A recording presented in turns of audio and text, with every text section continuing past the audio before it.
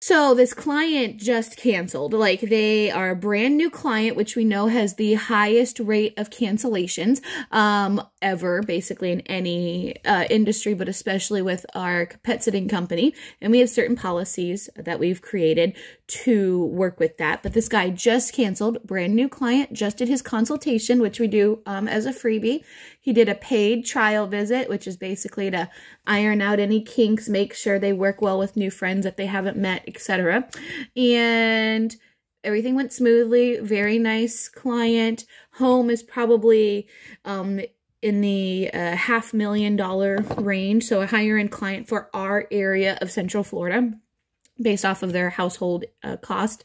And nice dogs overall. One's a little timid. So he cancels and he messages me, text messages the business and says, Hey, we're putting our house up for sale um, suddenly, and we are going to be actually showing the house during that week that we had scheduled while we're away. We're instead going to board the dogs because uh, we can't have them stay at the home while we may potentially have showings totally makes sense, right? Um, shocking that you go, well, did you not know that you were selling your house a week ago? He actually, he actually didn't. The house in their neighborhood that is like a dream house for them compared to their current house, location wise, went up for sale suddenly last week and uh, after our consultation.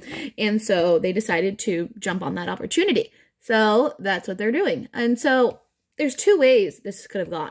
And it's all based off of your policies for your pet sitting company and how you want to dictate them. So let's talk about that. First of all, my name's Amber Van Denzen, owner and founder of Attaboy Animal Care, pet sitting uh, located in Central Florida, certified professional pet sitter, veterinary technician of 13 years, bachelor's of animal science, yada, yada, yada. But let's talk about our company's cancellation policies and how this can be a point where you have the ability to show empathy, which in the long run will make you more money. So, first and foremost, every company um, that I've looked at that has their cancellation policies listed online or companies that I've met throughout the years that I've asked them about their cancellation policies have a variety of ways of interpreting and how they handle cancellation policies, um, mostly depending on the type of service that is being offered. So, typically, their policies may be slightly different for overnight sleepover pet sits versus drop in versus daily dog walks. And what I've seen is yes, I'm doing my makeup while we're doing this, by the way. So let's do a get ready, chatty pet sitting version. Um, is that they depend on the service, and that ranges anywhere from a full cancellation uh, that gets a full refund within two weeks of a cancellation or two weeks prior or more. Um, some have a 48 hour limit. Some have a day of cancellation. Some you don't get a deposit back. Some you do. Some you put down a different type of deposit depending on the cost of the total invoice. Some you put down a, a general cost, such as 50% across the board or whatever. So it's kind of based off of your personal preferences, what you seem works for your company, and what you truly vibe with. Now, let me tell you what we do at Attaboy. Um, we don't do overnight pet sitting, thank God. um, we do mostly vacation-based drop-ins and daily dog walking. And our policies are, especially for new clients, because we have different policies for new clients, which means they have not booked a service yet with us before in the past, so they're not quote-unquote reliable. Um, and let's be honest, most some daily our dailies we have aren't reliable either but let, let's not get into that whole subject. But new clients are more prone to cancellations. Why? They tend to come into pet sitting for two reasons. Either that they have used to be boarding and the boarding is full and now they have to find alternative means or that they uh, had a friend or family member that typically does it and now is not available or they had a bad experience and usually the first two, they come into that and it's because we are the last resort. They've already booked their, you know, vacation. They really need someone to take care of their pets and this is our options. And usually obviously we are higher cost concept wise out of pocket than the first alternatives, friends, family, or boarding facilities. So because of that, we are their last resort. If something else pops up that's cheaper, they are going to abandon ship with us and go back to that cheaper route because they haven't seen how good pet sitting is. They haven't drinking the juice, if you will, of pet sitting. So they don't know what they're missing out on yet. So because of that, they're a higher cancellation rate. So because of that, our policies state as a new time client, their first invoice um, of services, set of services, well, if it's whether it's a week of vacay or a week of dog walking, doesn't matter, 100% paid in full within 24 hours of their trial visit that they had or consult, um, required non-refundable, non-transferable. So that means they won't get a refund, they won't get a credit, and they can't transfer that money to a different like set of services or a different person. Why do we do that? Uh, because we had one too many new clients that canceled super last minute or in advance or whatever. We already invested in a free visit, a consult. We've already invested taking the time to talk to them and set up their online account. And more often than not, when they canceled, they never came. So our written policies that are on our website, that are in the emails, on their onboarding emails, that are in their confirmation of invoice emails, all state new clients, non-refundable, non-transferable, 100% paid in full deposit. So they now know what they're getting into. That is our standard. So any client that comes in sees that and says, I know what I'm getting into and I'm okay with it. But but eventually there will be new clients that understand it, they pay the invoice, they're totally feeling it, they're all about it, and then they cancel anyways for whatever reason. Now, more often than not, since we've implemented that uh, policy, which is, you know, a couple years old for us actually, we actually had not much of a cancellation policy prior to that, um, we have had um, people need to cancel new clients, and that is perfectly fine. But this is what happens it happens two ways. Either they're douchebags about it or they're really understanding and they're just trying to figure out what's the best way they can handle the situation. So, first situation happens. Let's do the easy situation. They're nice about it. They call, they text, they email, and they say, hey, we had a situation come up. We have to cancel those services. We understand your policy is non refundable, non transferable is there any way we can get our money back? This is, and they usually explain the situation. This is why we ask. Or they can say, can we have a credit? Or can we transfer it to maybe they have a different service scheduled soon after, whatever. Let's say the scenario is, which we've had, all of these are true. the scenario is that they were on the way to leave and their one and only car that can take that trip to North Carolina, you know, to the North Snow is now in the shop and they don't have the part for the next week, so they had to cancel the whole trip. Okay, out of their control. Yes, you could say they could have serviced their car properly, they didn't plan properly, whatever. But let's just say we're going to call that out of control. Say someone got COVID or the flu or sickness in general. Say somebody died. Say, you know, all flights got canceled, or you could label those as acts of God, as they do. Um, all of those, to me, are out of their control. And if I was in their situation that like something like that happened and now I'm looking at a loss of a vacation, which is mentally disappointing, potentially financially loss as well, or, or a car that now costs thousands of dollars to fix. I'm thinking cha-ching, cha-ching, cha-ching. And now I have to cancel my pet sitter, which I may have lost maybe two to eight hundred, one thousand plus dollars of this non-refundable, non-transferable that I had no plan of ever canceling because I was totally gung-ho, but shit happens. Now what? So of course, if I was in their shoes, I would go and say, please, maybe they have some type of mercy. Maybe they'll give me something back.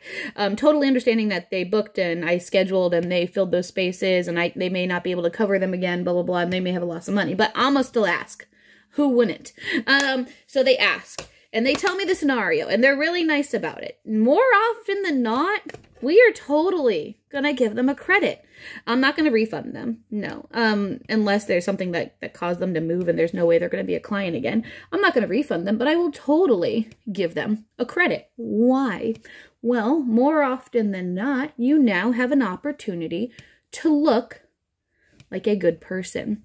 You and obviously I'm hoping you are a good person, but you can now show them you are a good people. You want to be human to them, right? And so what usually happens is this. They give the scenario that I understand would be a reason for a valid cancellation. Even though it's against our policies as a new client, it's not like they're trying to use a different service. Could they be lying? Yes. No, I'm not worried about that. Am I asking for proof? Absolutely not. One, I don't give a shit. One, it's a waste of my time. So they do that. And then this is what I say. I say, you know what? Hey, uh, Bob, whatever their name is, our policies do state that your first invoice or your first set of visits is 100% non-refundable, non-transferable, unfortunately. I said, but it does seem you're going through a hard time right now or insert you're going through an act of God or a major life change. and because of that, we want to be human to you. So we will gladly offer you a credit to your account that will expire within a certain amount of time. Um, typically, our credits don't expire because I'm not too worried about that. But in that moment, I'm going to do a little bit, and it depends on the scenario. They may have given me some more information, or if they already have a booked scheduled another service, I will apply that credit towards that future service. Again, that will be non-refundable, non-transferable, one time only. Every single time we've done this, every single time, I can guarantee you, in the past year, I can think of four scenarios that this has happened, and every single time not only are they, wow, that's super nice. Two, they're super grateful. Three, they always rebook because they have that credit on file now. And then four, they usually are the persons that are the best referrals. Why? Because they were in an awful situation and we helped them like humans should.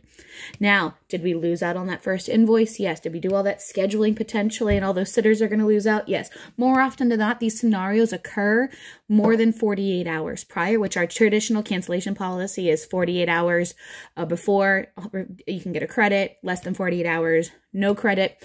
Um, so it usually hits within that anyways, which our staff doesn't get paid if cancellations are more than 48 hours in advance anyways. Less than 48 hours they do. But usually when I go to my sitters and say, you know, hey, major life event, because I hire good people. And I say, hey, major life event, and they trust me as a an owner and a, their boss. When I say, hey, major life event occurred, I really want to give them a credit. I'm going to give them a credit.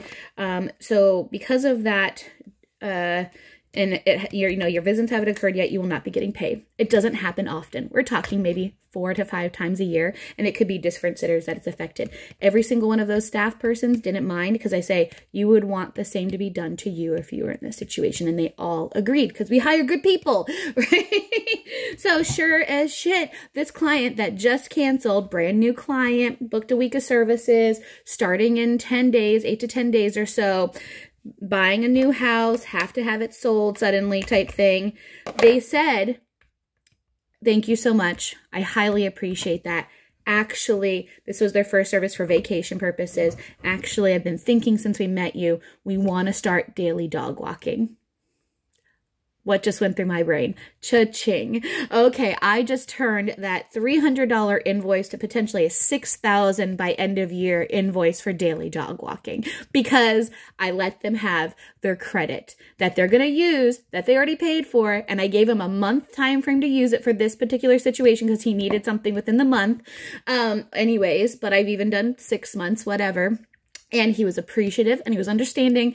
And now i just made a rapport with him that he's now going to do daily dog walking for the rest of the year. Um hello. So it is that does not prove that having some flexibility and humanity in our policies and remembering that we are working with humans and we are even if we're massive million dollar companies even even if we are just the solo person that that's a loss in our pocket for that week look what that can do to you. Now does it happen every time? No but this is why you have standard policies from the beginning. This is why they're clear and concise from the beginning. This is why you repeat those policies multiple times so there's no way they could have missed it. We also verbalize that obviously at the consultation as well so they are quite aware what they're going into. And then now when a situation occurs which I feel like occurs in most of our newbies.